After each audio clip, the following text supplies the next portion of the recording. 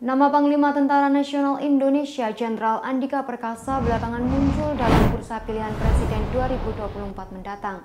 Jenderal Andika Perkasa mendapat dukungan dari sejumlah pihak untuk maju pada kontestasi politik tersebut.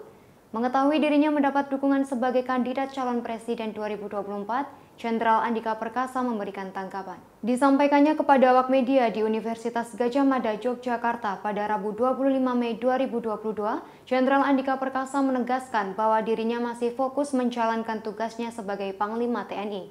Dikutip dari Kompas.com, orang nomor satu di TNI ini mengatakan belum terlalu memikirkan lebih jauh dan akan fokus pada tugasnya sebagai Panglima TNI. Meski begitu, Jenderal Andika tetap mengapresiasi munculnya dukungan yang mendorong dirinya maju dalam kontestasi Pilpres 2024. Dilansir oleh Kompas.com, hasil survei kepemimpinan nasional, Kompas menunjukkan nama Andika masuk ke dalam salah satu tokoh yang berpeluang dipilih menjadi calon presiden pada Pilpres 2024. Berdasarkan survei yang dilakukan terhadap 1.200 responden pada medio 17 Januari hingga 30 Januari 2022 lalu, elektabilitas Jenderal Andika mencapai kisaran 2% sebagai capres. Meski hanya 2%, elektabilitasnya masih lebih unggul dibanding tokoh lain. Sebut saja ex-Panglima TNI Jenderal Purnawirawan Gatot Nurmantio sebesar 1,4 persen, Menteri BUMN Erick Thohir sebesar 1,1 persen, Menteri Koordinator Bidang Politik, Hukum, dan Keamanan Mahfud MD sebesar 1,1 persen, bahkan Ketua DPP PDI Perjuangan yang sekaligus Ketua DPR Puan Maharani hanya sebesar 1 persen.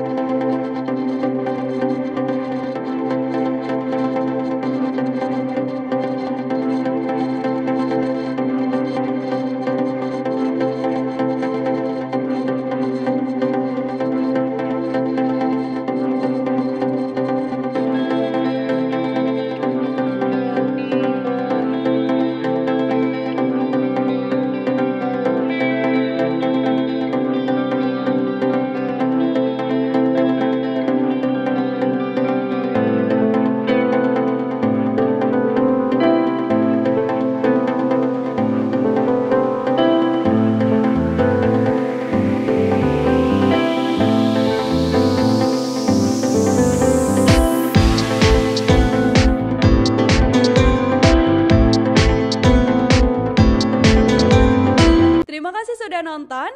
Jangan lupa like, subscribe, dan share ya.